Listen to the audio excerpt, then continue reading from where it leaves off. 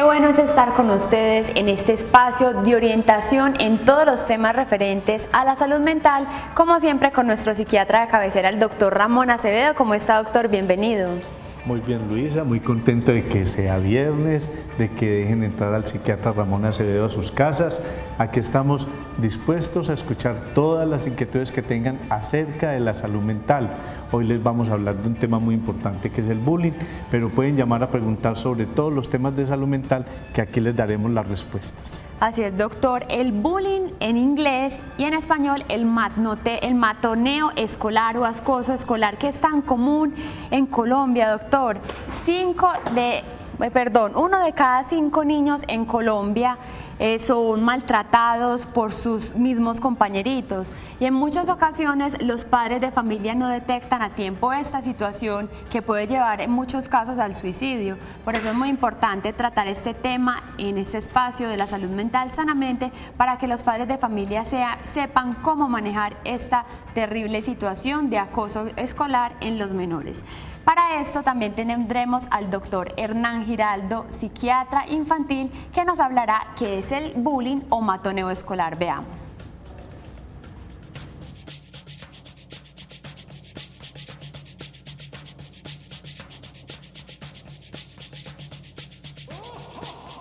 El matoneo es el nombre en español que tenemos para un fenómeno que ocurre en todos los países del mundo y que en inglés se llama bullying. Bullying es una relación de abuso y de maltrato entre una persona que tiene cierta jerarquía o cierto poder físico, en popularidad, en aceptación social, sobre alguien que tiene menos habilidades en ese tipo de cosas. Entonces en el matoneo es un acoso constante que se presenta en un entorno académico generalmente y incluye el maltrato, el abuso o la humillación como un acto de poder entre una persona que se llama el matoneador y el matoneado que es la víctima. Para que ocurra el matoneo siempre tiene que haber un público, unos espectadores y un entorno que permite que el matoneo ocurra. Entonces esos tres actores del matoneo que son la persona que matonea, la víctima y los espectadores son los tres actores principales del matoneo. Ocurren a cualquier edad. Generalmente en la edad escolar y en la edad del bachillerato es donde más ocurre y en todos los entornos y en todos los estratos sociales. Entonces implica siempre una relación de poder donde el maltrato al otro reafirma mi poder y depende de unos elementos de cada, específicos de cada uno de los actores.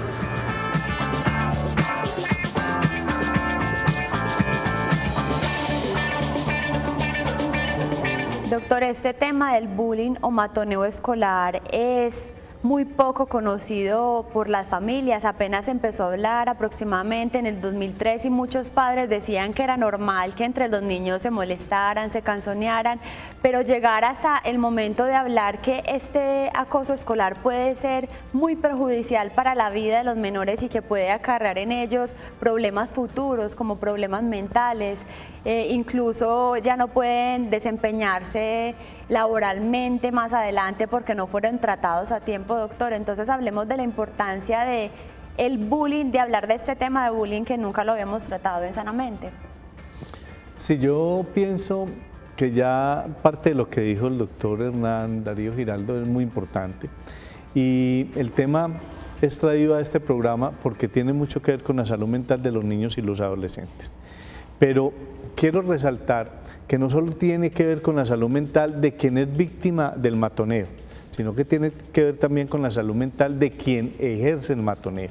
Porque cuando un niño o una niña, un adolescente o una adolescente están haciendo matoneo, por lo general a través de él están reflejando una alteración en su conducta, una alteración en su salud mental que si no es detectada a tiempo y manejada a tiempo puede llevar a que ese victimario, esa persona que está haciendo el bullying o aquellos que están confluyendo en el bullying mm, liderados por alguien puedan terminar con problemas muy serios de comportamiento e incluso con comportamientos antisociales que lo pueden llevar incluso más adelante a estar en una cárcel. Muchas veces los padres no se preocupan porque sus hijos sean victimarios, se preocupan porque el hijo sea la víctima, pero yo, que soy papá, me preocuparía mucho que mi hijo o que mi hija le estuviera haciendo bullying a otro niño. Así es, doctor. ¿Y cómo influye entonces la educación de los padres para que no vayan a tener ni víctimas ni victimarios en su hogar? ¿Qué hacer? Porque en muchas ocasiones los padres pueden ser muy sobreprotectores o también pueden generar en su hijo un concepto de autoridad muy grande y entonces el hijo siempre quiere ser el reconocido, el que manda, el más importante del grupo y por eso también puede tener esta actitud en los colegios. Sí, cuando uno analiza las personas, los niños, las niñas, los jóvenes que producen bullying, encuentra que algo disfuncional está sucediendo en la familia. Eh, por lo general o hay violencia intrafamiliar al interior de la familia o hay una serie de problemas y conflictos dentro de la pareja de los padres, puede haber abandono del padre o de la madre, puede haber consumo de alcohol y de drogas, puede haber eh, una autoridad demasiado férrea, estricta y agresiva.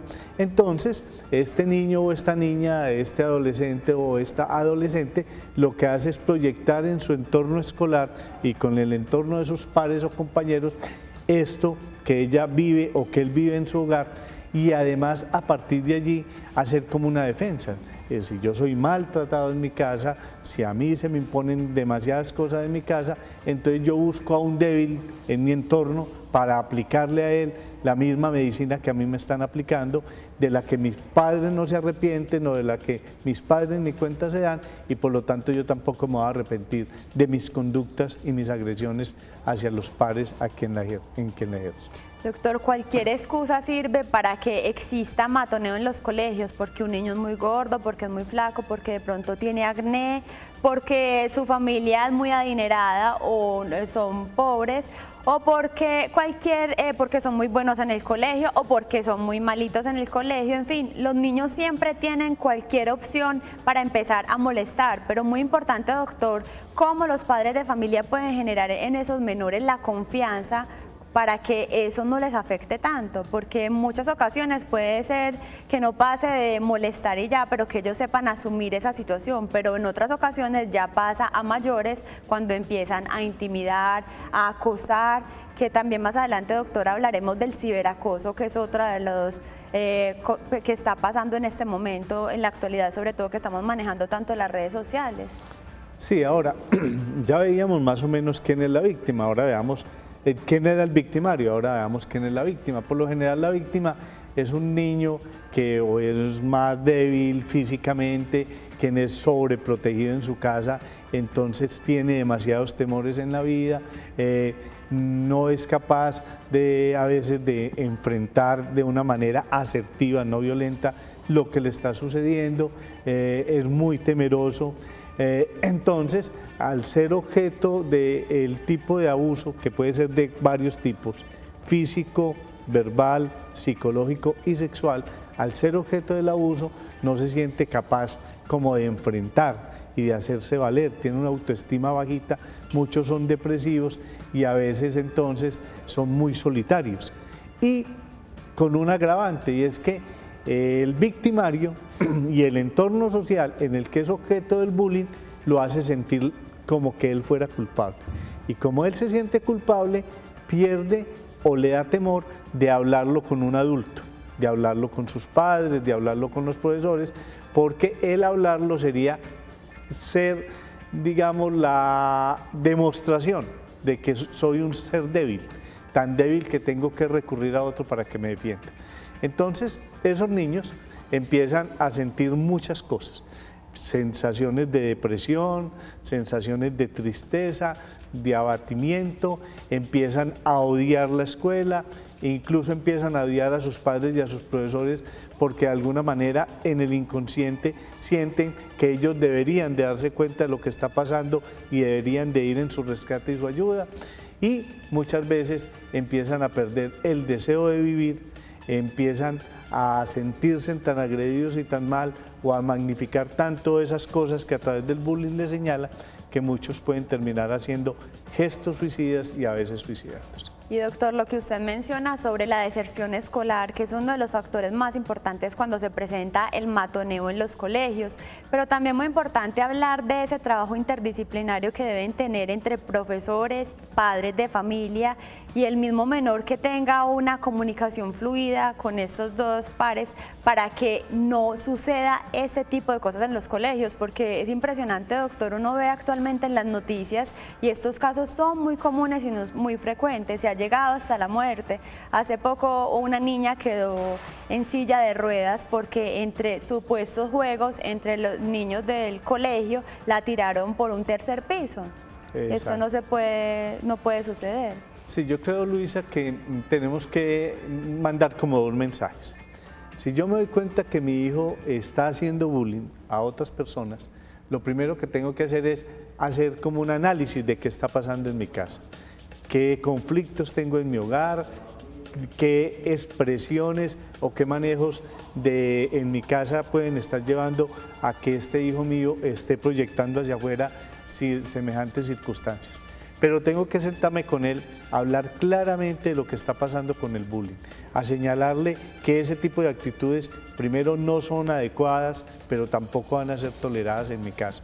Tengo que ser muy claro en que esa no es la manera ni de uno llamar la atención, ni de uno ganarse el afecto, ni ganarse eh, la autoridad, ni el liderazgo de, ninguna, de ninguna, en ningún grupo social. Tengo que ser muy claro en escucharlo, en dejar que me cuente todas las cosas y el por qué lo está haciendo, pero además de poner unas normas claras y no justificarle bajo ningún aspecto el bullying que le está haciendo a otros. Eso tiene que ser claro, porque además hay varios actores en el bullying.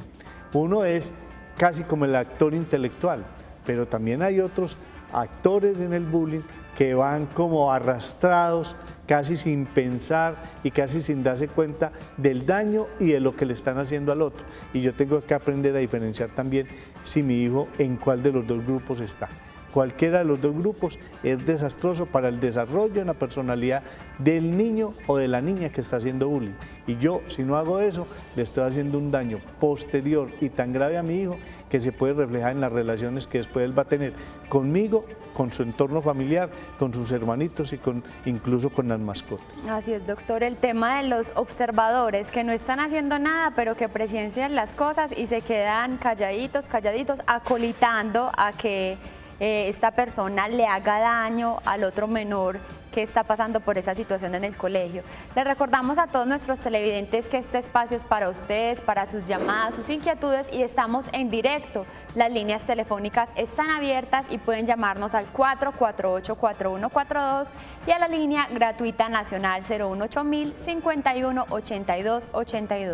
Doctor, es muy importante lo que usted dijo ahorita. Cuando son víctimas del bullying o del matoneo, muchos niños son temerosos en contarle a sus profesores, a los padres de familia que esta situación está pasando en el colegio, pero tienen algunas actitudes que en muchos casos los padres no las identifican a tiempo. Doctor, ¿cuáles son esas características de un niño que está pasando por acoso escolar? Sí, yo les decía ahorita que una de las cosas que pasa por la mente del niño que está siendo objeto del bullying es que también aprende y empieza a odiar a los profesores y a los padres, además de la escuela, porque él en su interior, en su pensamiento, eh, siente que ellos deberían ya de haber entendido lo que le está pasando y haber ido a su rescate. Entonces, los padres y los profesores tienen que estar muy atentos a ese tipo de actitudes. Si uno ve que el niño llega con moretones, eso no es lógico. No, es que me caí, es que me di contra un poste. Que llega con los útiles o su uniforme desgarrado, sucio. Si lo ve en una actitud de rechazo a volver a estudiar, si ve que no tiene compañeritos y amigos, si ve los profesores que no lo incluyen en ninguno de los grupos cuando hay que hacer trabajos en grupo, eh, si ve que el niño está haciendo exigencias económicas cada vez mayores para llevar al colegio, que es muy probablemente para pagar los sobornos o las exigencias que el otro le está haciendo si eh, empieza a, sentir temores que antes no tenía, si empieza a usar palabras soeces para referirse a algunos compañeritos eh, y a decir que los odia. O sea, hay una serie de actitudes que los padres y los profesores deben de identificar para poderse acercar al niño o a la niña. Y cuando se acerca uno al niño o a la niña, lo debe hacer con mucha tranquilidad, no le debe transmitir inseguridades, pero tampoco lo debe incitar a la venganza y a, la violencia. No es, ven, ¿qué te está pasando? No, a mí no me pasa nada. No, algo te está pasando, mira, te queremos escuchar, queremos ayudarte, queremos mirar qué es lo que está sucediendo, por qué lo de la plata, por por qué lo de la lonchera, por qué lo del uniforme, por qué no quieres volver. Es darle toda la confianza, siempre señalarle que lo estamos dispuestos a escuchar y a buscar todos los mecanismos necesarios para que las cosas no sucedan. Pero siempre es escuchar, siempre es escuchar y no empezar a que él dice una cosa y ahí mismo nos vamos con un sartal de cosas y de palabras y lo callamos. No, que exprese todos sus sentimientos y ayudarle fundamentalmente a que supere esa sensación de que él es el culpable de lo que le está pasando o ella es la culpable de lo que le está pasando. Doctor, y yo quiero destacar lo que usted dice de la forma como los padres deben eh, abordar a sus hijos y decirles qué hacer en caso de esas situaciones, porque muchos padres de familia, y lo he escuchado, que cuando un niño le ha pegado dice, ah, no sea bobito, devuélvale, pégale usted también, no se deje. Y esa es la actitud de muchos padres de familia que dicen que es mejor que se defienda para que no se la monten después y violencia genera más violencia. Sí, lo que uno le tiene que explicar claramente al hijo es que uno no puede entrar en el mismo juego del otro, eh, que si el otro le dice cosas malucas es simplemente mirarlo a los ojos y decirle, no señor, usted está equivocado, ese no soy yo, pero que si siente que está en peligro y el otro lo va a agredir, huya en vez de enfrentar porque eso y corra hacia un lugar donde haya adultos y de todas maneras recurra también a las autoridades académicas y administrativas del colegio y claramente señale lo que le está sucediendo y los padres lo deben de acompañar en ese, en ese tránsito de ir a hablar con los profesores. Ahora, si no se encuentra una respuesta adecuada en el colegio, que a veces no se encuentra, no es que el padre entonces a partir de ahí asuma toda una agresión hacia el colegio, porque los colegios de alguna forma también tienen otras autoridades que van más allá, que están en las secretarías de educación y a veces entonces habrá que ir a las secretarías de educación porque indudablemente hay un hecho que no podemos desconocer y es que algunos chicos o chicas que ejercen el bullying lo hacen respaldados a veces por los padres y esos padres cuando a sus hijos les llaman la atención en el colegio van y le hacen matoneo a los profesores y a las autoridades como si fueran los dueños del colegio, porque eso también se ve en esta sociedad donde hay algunos sectores de algún tipo de cultura que se creen dueños de la vida y se creen dueños de todo. Entonces ahí ya la cosa pasa a mayores y habrá que recurrir a abogados y a una ley que existe en este país, la 1620 del 2013, donde está claramente tipificado todo lo que pasa ahí y hay unas acciones administrativas que se pueden, a las que se puede recurrir de parte de los padres y de las autoridades. Doctor, y eh, ahora comenzamos a recibir las llamadas de nuestros televidentes. Agradecemos a Hugo por su espera. ¿Cómo está Hugo? Bienvenido. Hugo, te pedimos por favor nos escuches por el teléfono y estamos atentos a tu pregunta. Bueno, Hugo ya no está con nosotros, repite nuevamente la llamada. Adriana la tenemos en la línea. Hola Adriana. Sí, buenos días. ¿Cómo está? Muy bien. Me alegra mucho. Cuéntame cuál es su pregunta para el doctor. Está aquí atento. Sí, mi pregunta es, doctor, yo tengo una niña de tres años. ¿Cómo tengo yo que prepararme para educarla para estos problemas? Bueno, muy bien, Adriana. Obviamente, mm, cuando los niños llegan por primera vez a la guardería y tienen todo ese proceso de adaptación y algunos presentan la ansiedad de separación y ese miedo de quedarse allí porque la mamá se va a ir, pues hay una serie de reacciones normales que no nos deben de, de preocupar tanto. Ahora, si ya dentro de la guardería y en el desarrollo de las actividades empieza a haber un compañerito, una compañerita que empieza a agredirla, que empieza a ponerle sobrenombres, que empieza a intentar marginarla, que también es otro tipo de bullying, a alejarlo a uno de los demás, mm, a ponerle apodos o sobrenombres, lo que uno tiene que hacer es, entonces, primero explicarle a la niña que no le pare como tantas bolas, y me perdona el término, a lo que le digan, es reafirmarle siempre y de manera muy constante la autoestima, su inteligencia, lo bonita que es y todas las cosas y, inmediatamente hablar con los profesores de la guardería para que se tomen las decisiones al cabo. Cuando uno le enseña a los niños a que este tipo de problemas se solucionan a través del diálogo, permitiendo que intervengan las personas que son, que siempre va a estar protegida cuando tiene la razón y cuando tiene la verdad, cuando uno les enseña eso, les da todas las herramientas para que a lo largo de la vida sean capaces de recurrir a mecanismos sanos de resolución de conflictos y no a mecanismos violentos.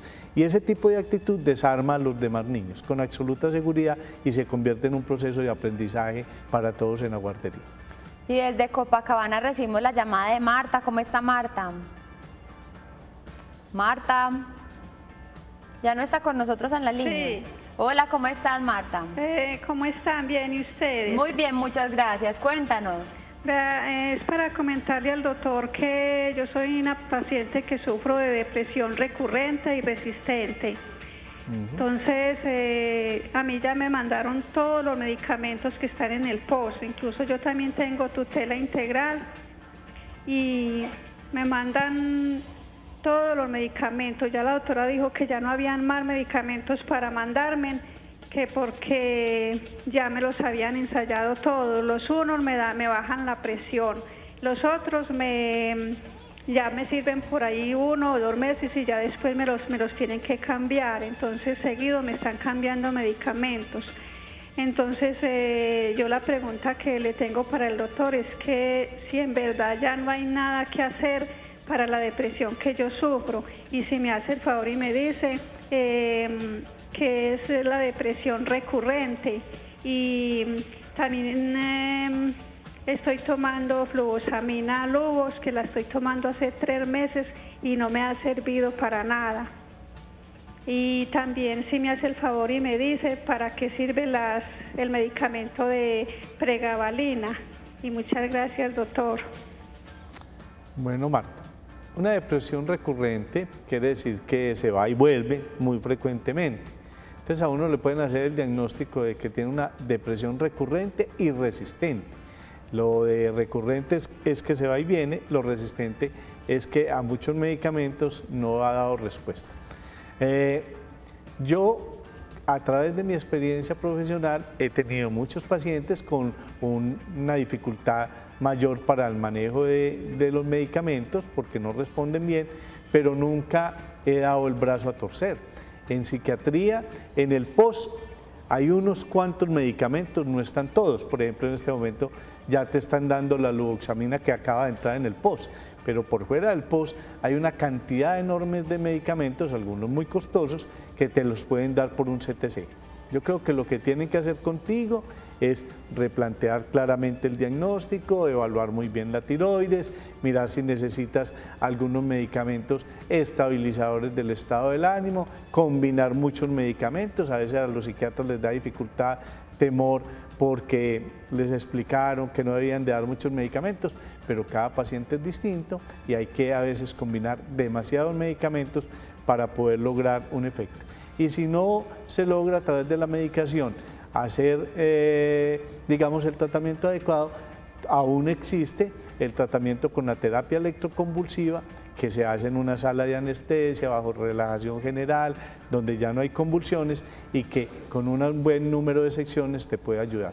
Yo creo que si la doctora ya agotó todo el post, le empieza a tocar empezar a hacer los CTC necesarios con los medicamentos de no post con los que posiblemente te va a poder ayudar. Y desde Bello nos llama Rosa Elena, bienvenida. Aló, buenos días. ¿Cómo está? Muy bien, ¿y usted? Muy bien, muchísimas gracias. Cuéntanos cuál es tu pregunta. Eh, doctor, quiero hacerle una pregunta. Resulta de que tengo una niña en un colegio acá en Bello a ella me la están acusando de un robo en el colegio, eh, no tienen pruebas, no me quieren enseñar las pruebas, que porque eso va directamente a la fiscalía de la expresión. Entonces no he mandado a la niña al colegio debido a que me la tienen, digamos que es como un bullying que me la están haciendo a ella. Y quiero que usted me oriente qué voy a hacer en ese caso y muchas gracias. Muy bien. Si a la niña la están acusando de un robo y no le quieren indicar a usted cuáles son las pruebas y, pusieron la demanda en la fiscalía, eh, lo que tú tienes que hacer es ir a la fiscalía, aclarar qué es lo que está sucediendo, ir a la Secretaría de Educación del municipio, que es la que tiene y ejerce la autoridad sobre el colegio, para que a través de la Secretaría de Educación del municipio también evalúen claramente qué está pasando y si hay un bullying frente a la niña. Porque muchas veces, y esto es importante también entenderlo, porque a los niños, a las niñas y a los adolescentes hay que creerles, muchas veces parte del bullying que se le hace a los niños está acolitado y muchas veces incitado por algunos profesores. Los profesores son seres humanos, son seres humanos que tienen emociones, son seres humanos que también tienen muchas virtudes y defectos y a veces los profesores inducen al bullying. Entonces, en esa medida, con lo que está pasando con tu hija, primer paso es sentarse con ella claramente, mirándola a los ojos y que ella te diga si sí o no. Porque si ella dice que sí, el procedimiento es otro el procedimiento es ir, evaluar las cosas, mirar cómo se repara el daño y que ella suma la crítica. Pero si ella te dice que no, absolutamente que no, y tú crees en ella, entonces es ir a la Fiscalía para que se aclare el proceso y a las autoridades administrativas de la Secretaría de Educación para que tomen carta en el asunto dentro del colegio. Ahora está con nosotros Amparo, bienvenida. Amparo. Bueno, parece ser que Amparo no está con nosotros. Repite nuevamente la llamada, doctor. Muy importante esta última llamada que recibimos porque ya llega es a, a palabras mayores, cuando ya están hablando de un robo, cuando ya están intimidando a la persona. Eh, doctor, ¿qué hacer en estos casos? Usted ya le dado algunas recomendaciones y también mencionemos el ciberacoso que se ve mucho en la actualidad porque hay mucho manejo de redes sociales. Además, las personas eh, están eh, mostrando toda su intimidad, las fotos, y eso puede permitir que pasen más estas cosas que en los años anteriores que no existían las redes sociales. Sí, el tema del ciberacoso es más importante de lo que nosotros creemos porque los jóvenes, niños y niñas, eh, ya están viviendo como una vida paralela. Uno vive dos vidas, una que vive aquí en la realidad, con la familia y con los pocos o muchos amigos que tenga, y otro que vive en el ciberespacio, donde supuestamente tiene demasiados amigos y en donde vive un mundo de fantasías. Allí en ese ciberespacio pueden empezar a aparecer una serie de comentarios, pueden empezar a aparecer una serie de burlas, puede empezar a aparecer una serie de fotos que pueden eh, poner y agredir física, físicamente no, sino psicológica, verbal a, la persona y el, acoso psicológico es demasiado dañino y destruye la personalidad. Entonces, lo primero que tenemos que hacer es vigilar y estar muy atentos a qué es lo que nuestros hijos colocan en, ese ciberespacio. Eh, hay que tener la posibilidad y la potestad de entrar para mirar qué tipo de fotos entra, con quiénes se comunica y a través de lo que se está comunicando, qué es lo que se están diciendo. Porque si nos lo están agrediendo, se están burlando, le están diciendo cosas y no lo detectamos a tiempo, eso puede llevar a situaciones mucho más graves incluso que el bullying mismo allá físico en el colegio. Ahora, también hay que educar a los jóvenes, a las jóvenes, a los niños y a las niñas sobre qué es lo que tienen que publicar en el ciberespacio. Todo no se puede decir, uno cada rato encuentra que la policía dice, por favor no digan que es que se fueron de paseo y en dónde vivo y si dejé el perro o no el perro y, si dejé la luz prendida, porque es que eso es entregar todo para que alguien llegue allá, pero también hay que decirle a los niños, a las niñas y a los adolescentes qué tipo de fotos deben de publicar con quién se deben de comunicar y los padres tenemos que entrar en ese tema. A mí a veces me da, digamos, mm, preocupación cuando los padres dicen, no, yo eso no sé nada, a mí no me interesa, yo qué me voy a meter en eso. Mire, eh, si uno no está metido en la red y tiene a sus propios hijos, primos, sobrinos, de amigos, para poder mirar qué es lo que está pasando, está perdiendo el control sobre la educación y sobre la vida de sus hijos y de sus seres queridos.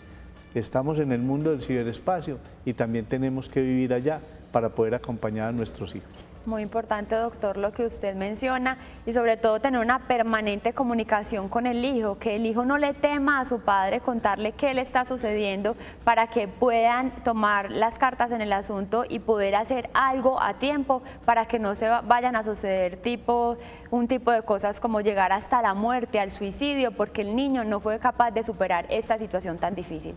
Vámonos ahora a unos mensajes institucionales y regresaremos hablando de este tema, el matoneo o acoso escolar.